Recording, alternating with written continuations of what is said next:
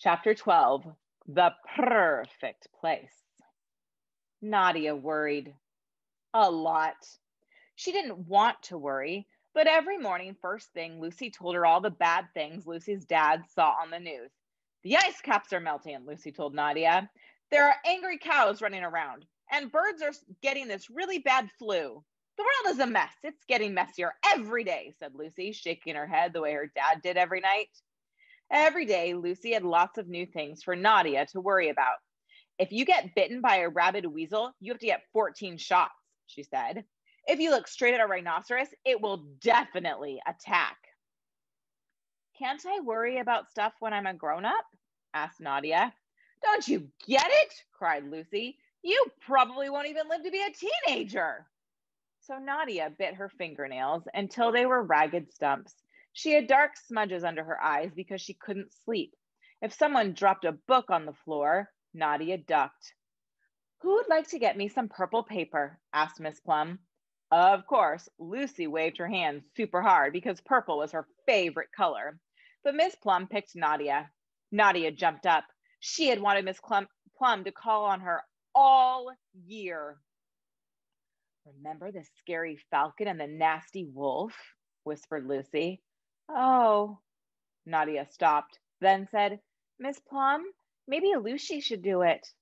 I asked you, Nadia, said Miss Plum.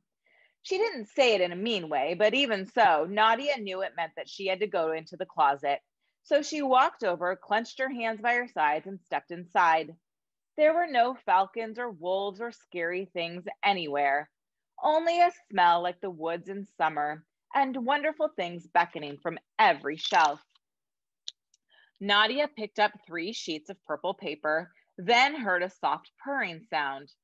There on the shelf next to the paper sat a little striped cat, its coat gleaming softly. It leapt gracefully onto Nadia's shoulder and curled up there beside her ear. Look, said Nadia, stepping shyly from the closet. Look! Everyone oohed and awed, even the boys, because Nadia's little cat was perfect.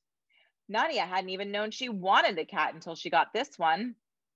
How soft it was, how pretty its striped fur and its pink nose, how calm its dark yellow eyes. Thank you, Nadia, said Miss Plum after everyone had gotten a good look at the little cat. As Nadia headed back to her desk, Ms. Plum picked up her book to continue the story she was reading to the class. The barn was very large. It was very old, she read. Cats carry tons of diseases, whispered Lucy when Nadia sat back down at her desk. Really? Nadia shifted her shoulders uneasily. The little cat snuggled against her neck, soft and warm. I think I'll give it some of my tuna sandwich, Nadia whispered. Tuna fish has some kind of worm thing, said Lucy. It gets into your bones, I think, and eats them up. Oh, Nadia frowned. The tiny cat purred against her ear. Plus, there's this weird algae thing happening in the ocean, Lucy hissed, glancing to see if Miss Plum was listening. It smelled of grain and of harness dressing and of axle grease and of rubber boots. Miss Plum was still reading. And that probably means that soon there won't be enough oxygen in the air anymore, said Lucy. Right. Nadia's shoulders slumped. The cat snuggled against her neck, soft and warm. You better give me your cat, Lucy said. It could bite you, you know. Nadia reached up and lifted the cat from her shoulder. It she held it in her hand. The cat opened its mouth. It did have sharp white teeth. Then it licked Nadia's finger with its pink tongue. Its tongue was soft and scratchy at the same time. Plus, a giant meteor could hit the earth, said Lucy. That's a real fact. Nadia ran her finger along the back of her cat. Its fur rippled under her finger like a piece of velvet.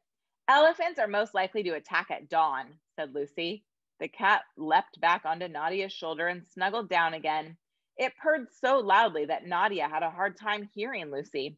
You can lose your hearing if you listen to really loud music, said Nadia. Hmm. Or, excuse me, said Lucy. Hmm, said Nadia. Are you listening?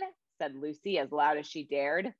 Nadia nodded dreamily, but she wasn't really listening. All she could hear was the cat's deep, contented purr. It was like a soft, faraway thunder. And Nadia remembered she liked the rain. She looked out the window. It was nearly summer. The tree outside Ms. Plum's window was green, with leaves that shifted with shadows and sunlight. A sparrow scolded and bobbed on one of the twigs. A tiny silver, silvery plane whispered across the soft blue sky. On the table by the window, Clyde the hamster nibbled on a sunflower seed, his whiskers quivering. Hip Hop blinked in the sun. Ms. Plum closed her book.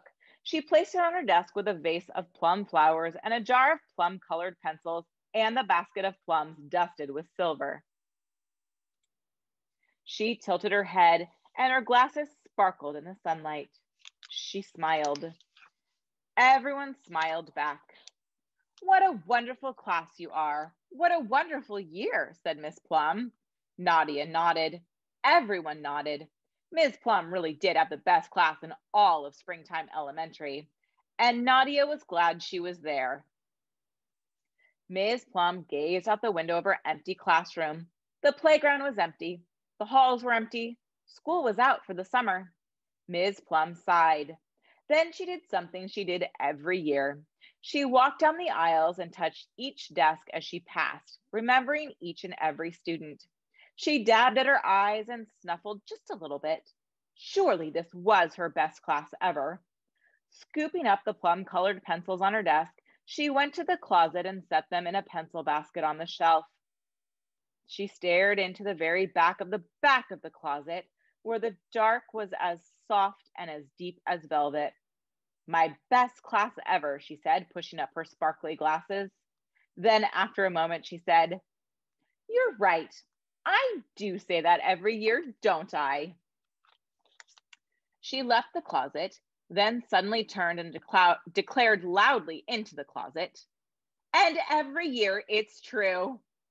Then she closed the closet door for the summer. The end.